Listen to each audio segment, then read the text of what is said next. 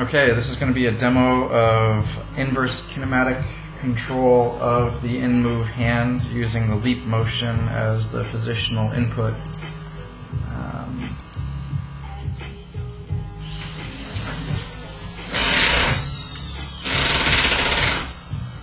there we go. We're launching, launching.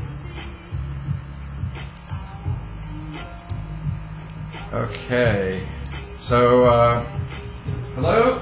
This is what I've really been working on. Uh, it's really kind of come up with a good model for the InMoov arm so we can kind of control it very well.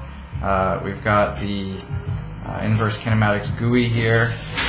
You can tell it initially just to center all the joints, so it puts all the joint positions at uh, the 50% halfway mark.